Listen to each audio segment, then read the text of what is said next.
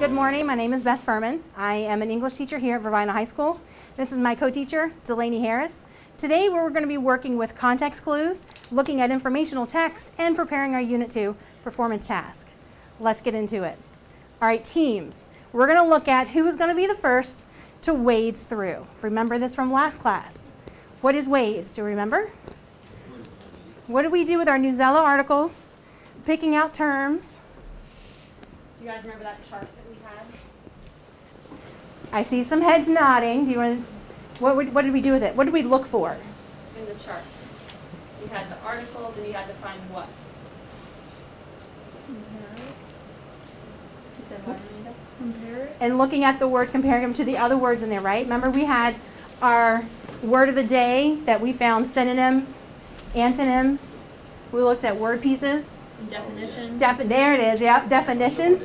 I know, it's early Monday. Yes, we looked at how we can understand vocabulary when it's an unfamiliar text and an unfamiliar word, and we had those five strategies. Here's what we're going to do.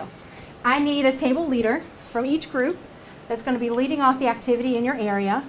You are going to have a competition. We're going to give you the WADES information, and as a team, you have to get it in the right order, the right way, correctly first. The winners are we getting our most extra credit points for their Unit 2 performance task. Okay? Are we ready for the challenge? Team leaders, meet me at the center, please. So you guys are going to get the cards. Your job is to help your group get things in order. You also are in charge of your team buzzer. When you think, watching, when you think your team has it all right, you're going to hit the buzzer to call one of us over. Okay? So you have all the pieces to the WADES chart that we looked at last time. You have definitions and examples. Okay? Definitions, examples, and what WADES are. Put them in order on the table. When you think you have it 100%, call us over. Ready? Go. Time starts now. Time starts now. Yep, take it to your group. Be nice. You can huddle in a little bit here. Does everybody get the gist of what you think you need to do? Oh, I like the divide and conquer approach there. Sir, nice, nice team leading you got there. Team's holding up close so no one can see their progress. We'll put all these on. Strong work. Think about the words that were, what was our warm-up called? Think about what the warm-up was called. What was the key acronym we used? That will help you with your order. What was our acronym? What was the word that we used over the beginning of the activity? Starts with a W. Wait. So you know that's going to be your order, right? So maybe start off with ones that have the letters. Those are going to be your first column. Okay, so there's your there's your E, I see a D. So yeah, so you can put them all together. You can get up and come around if that helps. I like the team huddle, yes. I know, and you're good. You're just dive right on in because this is what we'll do to help pick up and make up the difference, how we looked at what it all means. Yeah, good. Good work, Serena. I see your one row across the top is correct.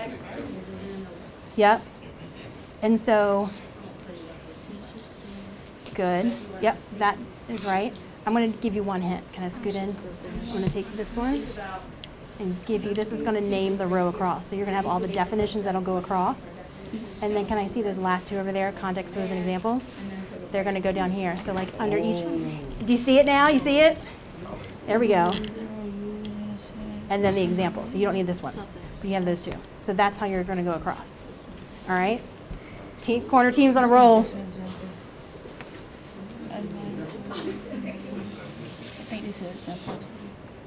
I'm going to scoot in. I'm going to give you one hint. Excuse me, Jackson. I'm going to take, yep, you're good there. And then, yep, and then you're going to have definitions going across. And then hit me that example one. Yeah. These are going to be your, well, that one goes back that way. So look here. So you have your context clue, it's going to be your column, and then your row of definitions, and then a row of examples. Does that make sense? Is that visually you see it? Yes, ma'am. All right.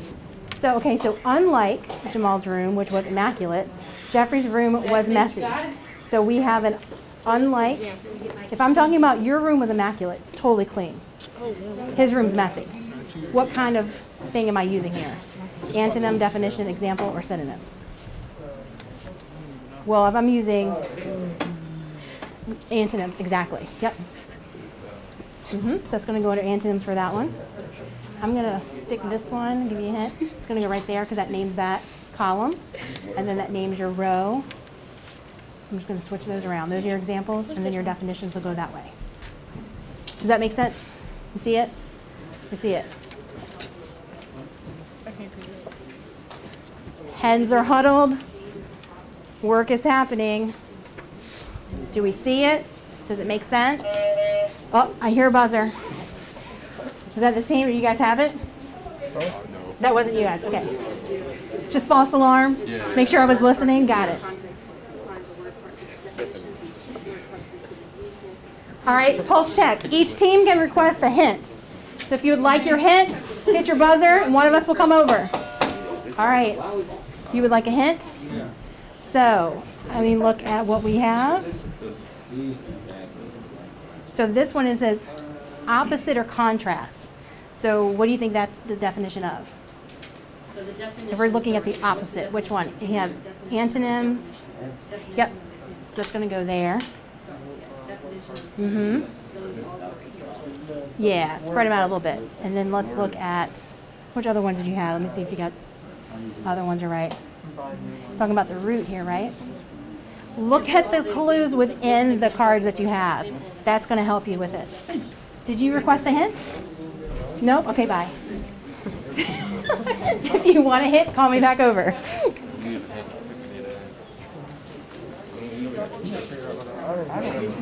Oh, oh, we're almost there. You see it? We're almost there. Oh, yeah, hit the buzzer. The rest of you keep working in case anything's wrong. Yes. Yes. Yes. Yes. Okay, back team wins. Keep going. You guys are still competing for the next level of points. Yes. So what I'm gonna, if you could bag these up, I'm gonna give you an index card. Team leader. Yes, you may. Take a picture of your winning list. Winning list. Think about word part. Which one is it? All right. I knew your word part was there.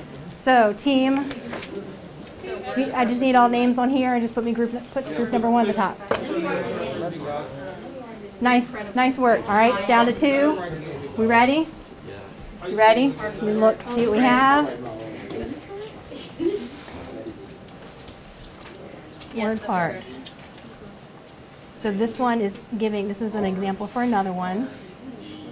Okay, so we have similar meaning. So similar is going to be what? Synonyms, yep. Okay, so you have, this one's right. Define directly. So like each, under each one, you should only have two cards.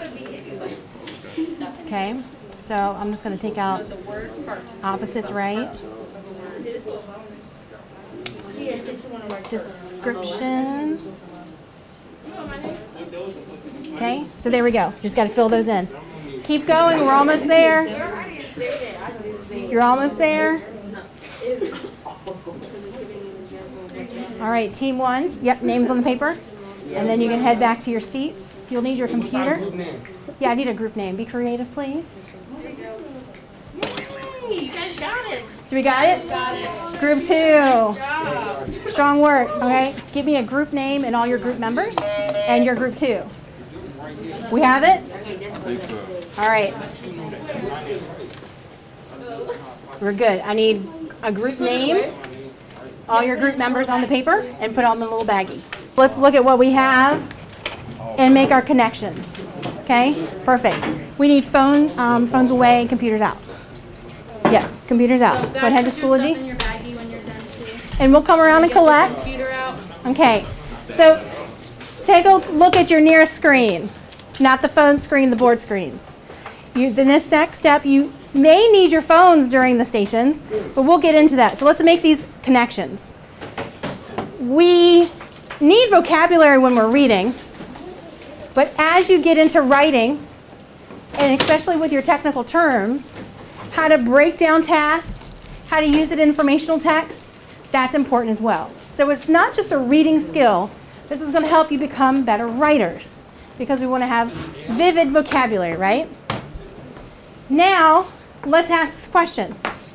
How would you teach someone a skill and the vocabulary specific terms they need to understand that skill? How would you do it? If you were the teacher for the day for that skill. How are you going to teach somebody how to do something as well as the vocabulary they need to understand it? How would you do it? Give them examples? How else would you do it? Huh? Flashcards, yeah. How else would you teach someone? Say again? The word in detail. Explaining each word in detail, okay? How else would you explain and teach someone else?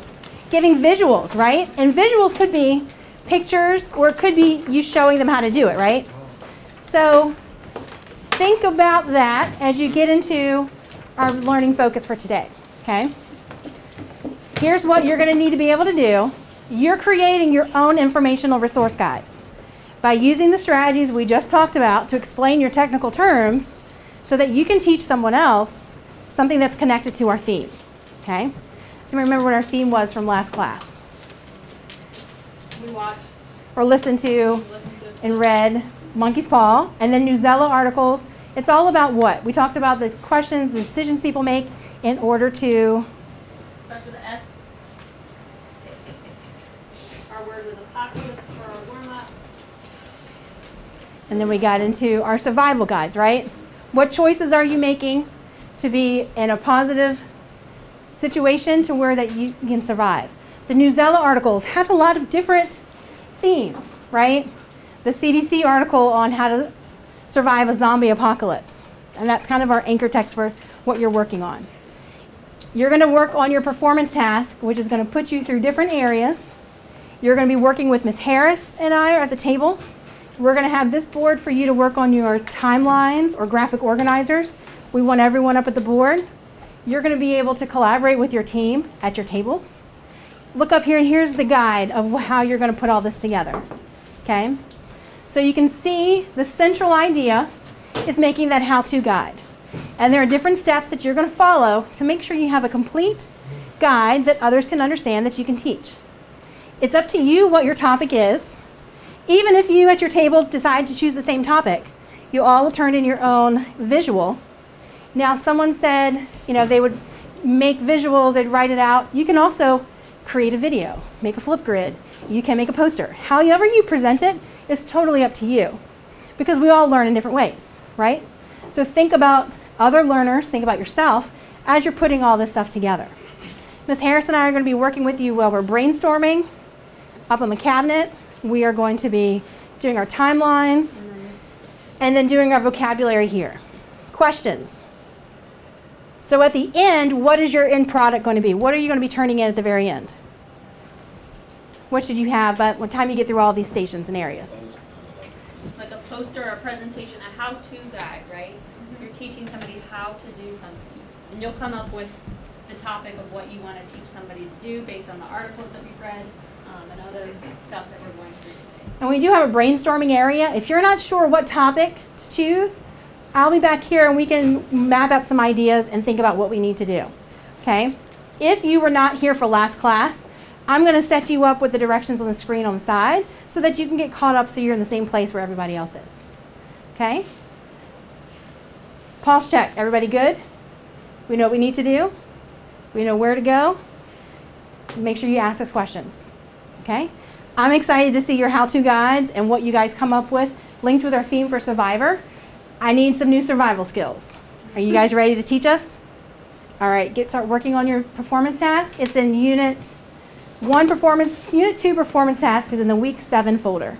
So go ahead and access that. Yes, unit two performance task. And you're going to open up the slideshow and it's going to walk you through all the information and directions that you might need. Okay, Jackson, Schoology.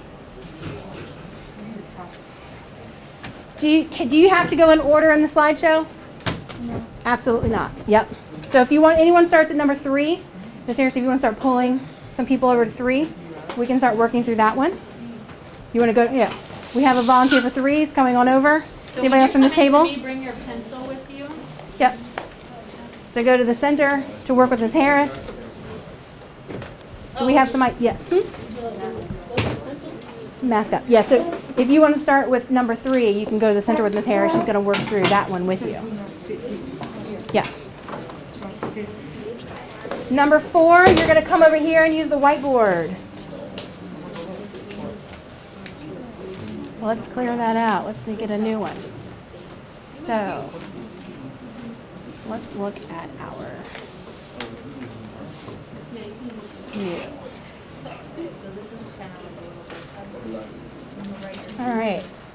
Does anybody have a topic and they're ready to start outlining and brainstorming? Or are we still thinking? Thinking, all right. Let's look at. Yep.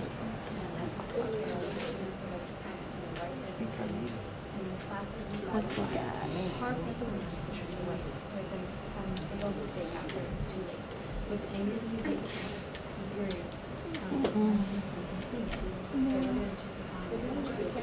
There we go. Right. So this one is set up for two people can come work at this board at the same time. And you can add your own information and organizers. The thing we've been doing is disconnecting and then give it a little bit of time and then connecting it back together. Okay? That's been the best way we found to, to do that one. Kind of sounds like it's telling you which one. Let's see. Whenever we're ready to work at the whiteboard, I have it ready to go for two people. Okay. Not anymore. Oh, that's an easy. I open up a new one, and we should be toggle it, You're gonna say, hey, why did you think? and then it should be another one. We'll get it straight. Once people come up here, I'll get it straight. Yeah, so they're both, those are facing. Ah, boom. And I think that those are Now we need to expand it. There we go. Thank you. Being risky. We have some topics, some ideas. Topics and ideas, Troy phone. Go to manage checking our resources. So you're gonna, for this one, you're gonna wanna start at Newsela and then come back into that and before you finish this piece. So this is like the final piece of the unit. So you can go back and then work on that. Thanks for coming into our class today. We hope you enjoyed visiting us here at Varina High School. So B, both number four, B. Yeah, so you're gonna go back.